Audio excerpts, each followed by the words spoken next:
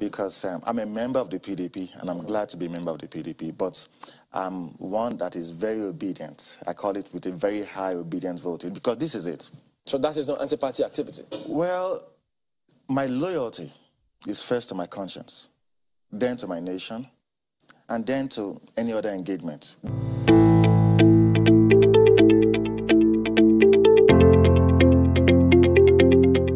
Because um, I'm a member of the PDP and I'm glad to be a member of the PDP, but I'm one that is very obedient. I call it with a very high obedient voting because this is it.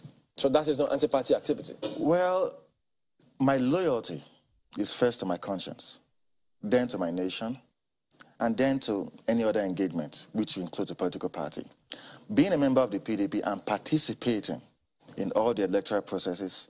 And I was, you know, more or less the spokesperson of the PDP in 2015 when we had our election. So I've been a major player in the PDP. But the development of Nigeria, the salvation that the Nigerians need, is not vested in a political party any longer.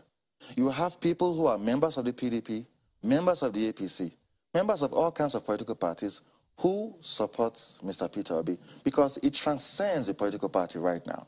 We are trying to save our lives and not save our political parties. That's what we are doing, and that's where Nigeria is now. We cannot continuously, you know, pretend that all is well. And so, or because I'm a member of the PDP, then whoever the PDP's candidate is, then you must support. That's not how democracy plays out in other developed economies. There are members of the, the, the Democrats Party who support Republican candidates and vice versa. So it is about the capacity the capability, the competence of yeah, the individual. If you